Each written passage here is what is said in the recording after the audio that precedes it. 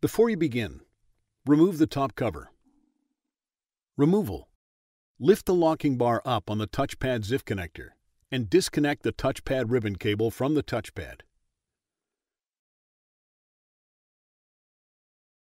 Remove the three 2mm P0 Phillips head screws that secure the touchpad bracket to the top cover.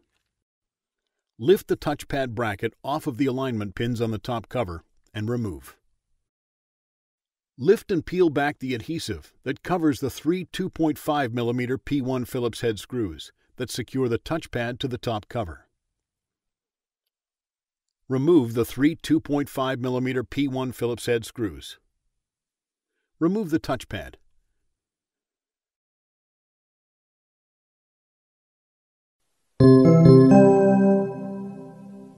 Replacement. Place the touchpad into position on the top cover. Replace the three 2.5mm P1 Phillips head screws that secure the touchpad to the top cover. Smooth the adhesive over the three 2.5mm P1 Phillips head screws.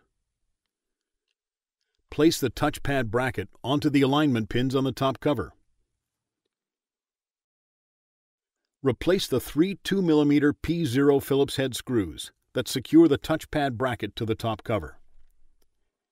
Insert the touchpad ribbon cable into its ZIF connector on the touchpad board and press the locking bar down to lock the cable into place.